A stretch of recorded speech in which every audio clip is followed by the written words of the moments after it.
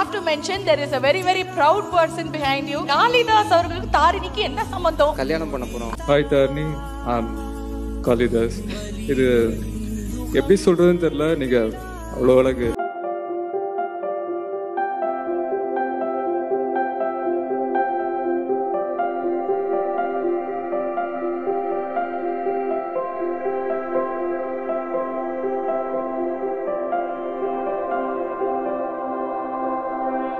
Thank you.